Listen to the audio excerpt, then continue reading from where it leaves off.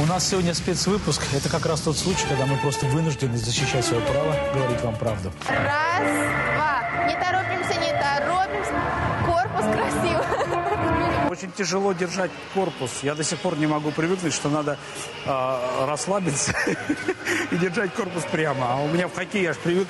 Хоккей, футбол, это же все время атака, это все время напряжение. А здесь надо, наоборот, расслабиться и получать удовольствие. Возник естественный вопрос. Кто виноват в подобной ситуации? Я клянусь клюшкой.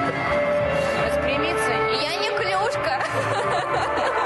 У меня глаза по пятаку, потому что, э, ну, во-первых, она олимпийская чемпионка, во-вторых, э, я видел ее испуганные глаза, когда она первый раз со мной поехал.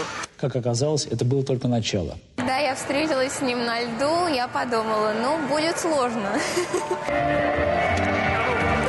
Да ладно. А я так же говорю.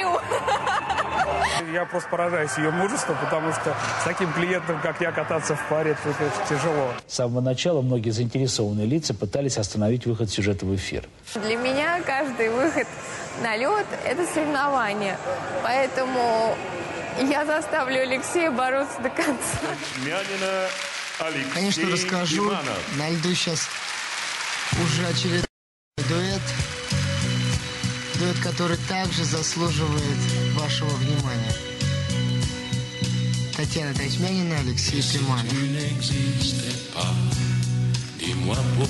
этом номере мы хотели создать образ парка. Парка, в котором, может быть, кто-то нашел свою судьбу. Именно так на катке знакомились люди.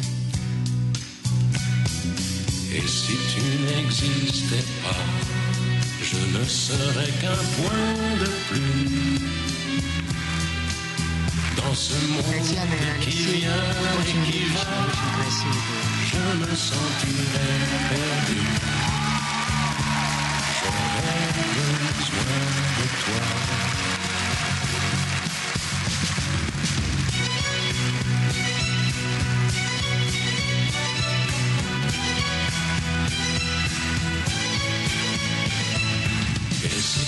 n'existe pas.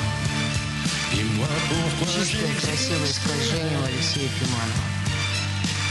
Pour traîner dans un monde sans toi, sans espoir et sans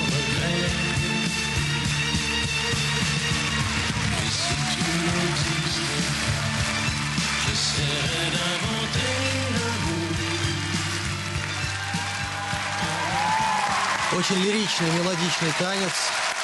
Увидели мы сейчас в исполнении участников нашего проекта